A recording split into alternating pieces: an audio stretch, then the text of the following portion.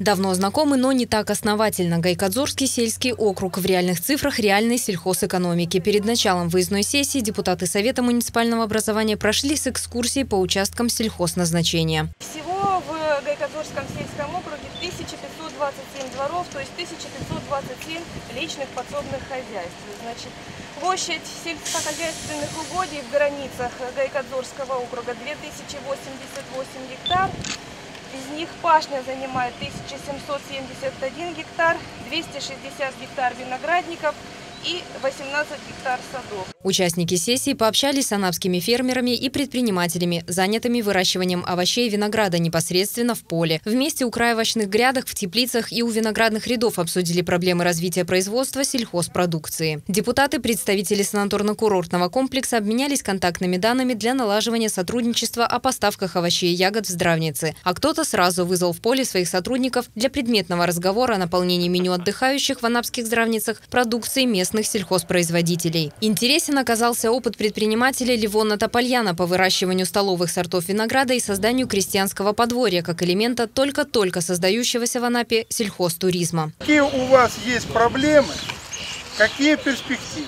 реально, вот сколько надо вложить, чтобы нормально через 5 лет получать продукцию? Я не могу сказать, я как бы в цифрах это все не вывозил, я делаю и не делаю. Гектар гектар э, виноградника сегодня, да, хороших сортов, хороших столовых сортов, ну, садится не меньше 500 тысяч.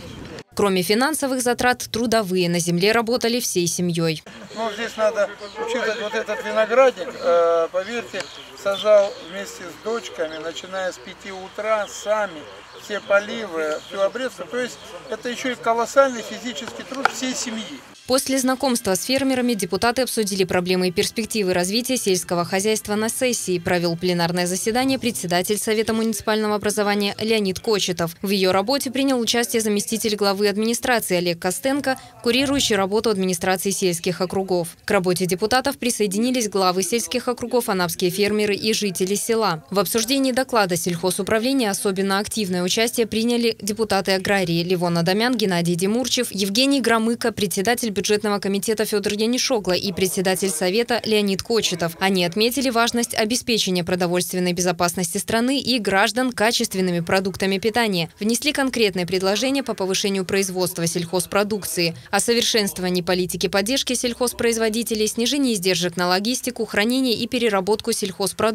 о создании моторно-тракторных станций и доступе производителей к дешевым энергоресурсам. Обсудили вопросы подготовки специалистов для села и улучшения качества жизни в сельской местности, что неразделимо. Так, например, решение о включении ныне необрабатываемых полутора тысяч гектаров земель в сельхозоборот позволит создать на селе порядка 7-9 тысяч рабочих мест. Это приведет к увеличению поступлений в местный бюджет, что в свою очередь позволит увеличить ассигнование на решение социальных проблем села. Депутаты утвердили план мероприятий муниципального образования по увеличению производства в малых формах хозяйствования плодоовощной продукции, технического и столового винограда.